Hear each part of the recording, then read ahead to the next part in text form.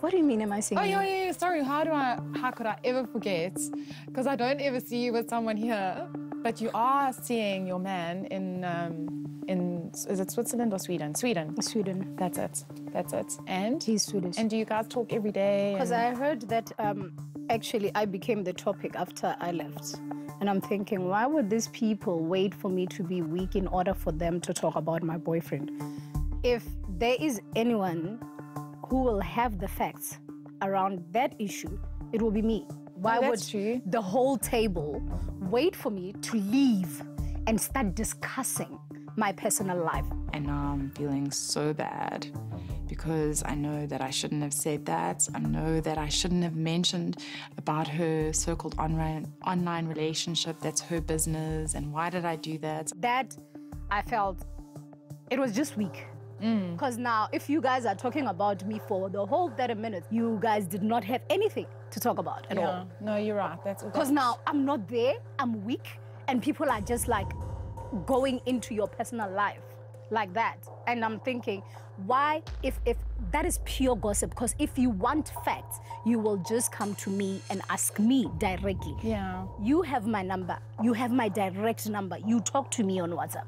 If you wanted to say anything or you wanted to find out, you would do that. But to sit on the table for a whole 30 minutes and discuss me, I feel like, what's going on?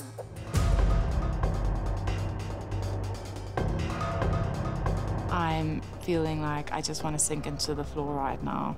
When you were not okay, I did it from my heart to say, I'm gonna reach out to you. I did not need anyone to. So if you guys thought my relationship was really bad, then you should understand how painful that is. Oh, I'm sorry. That does seem like the case. Come to think of it, It I am does seem like sitting that. here, I'm sick, trying to get my health back, and people are sitting on a table discussing things about love life.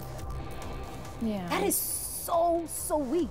It is actually. And it makes me feel like this kind of friendship is just you. It's like it's because Miss Mops called me and said, "I don't know what's going on, but you became the topic." So I'm so surprised now that Mpumi went and said something to Lethabo because she didn't say anything at the table much about the whole issue other than the fact that, you know, she she knew that this relationship existed and that it's fine and that she she knows that that it's it's it's a happening relationship pretty much. But she didn't say anything much and she didn't give us any detail. You know, she didn't make a stand for this whole thing. And I'm like, how do I become the topic when I'm not okay? If anyone needs answers, they must ask me. If they're gonna talk about me when I'm not there, it means they do not have anything to talk about. You know what? I have to tell you that you're 100% right. And I have to say that I was also part of that conversation and I'm really, really sorry. And you have every right to say what you're saying. I am absolutely apologetic to, to Lethabo right now because I realize that, you know, right from the start, I shouldn't have been bringing this up at the table. And I think even though it came from quite a good point from my side, I was worried about the fact that she's having this online relationship that might be going nowhere. She's a beautiful girl. She needs to have something, you know, concrete. I really apologize for it. And I can't say that it was because of the alcohol. Please don't. I'm just going to say that whatever I did in bringing up your personal life in front of everybody in your absence was wrong. Was wrong, was wrong. And you not only was and you were right. And I, I'm taking full responsibility for that discussion. Okay? I appreciate that. I'm taking full responsibility. And I, I started it and the rest of the girls responded in whatever way they did. Um, but I'm very, very sorry. And you are 100% right.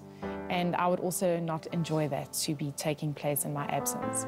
If you were at the table, that's a totally different story. it is a totally Yes, different story. yeah. Thank you so much for having me over, even though I know you wanted to strangle me. I did. like, I was like, I don't care how sick I am. She's dying this one today. I'm sorry. I'm sorry. Yeah, it wasn't my best moment. I have to tell you. Can Come I, here. Come here. Thank you so